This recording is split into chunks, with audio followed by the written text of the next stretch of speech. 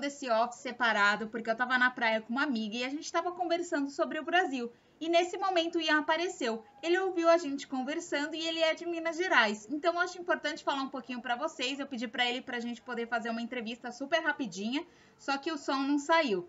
Então o Ian tá morando na Espanha faz seis meses. Ele morou antes em Dublin e ele tá trabalhando com promoção de eventos. Nessa hora ele tá rindo porque ele falou alguma palavra em espanhol, acho que era haciendo por fazendo.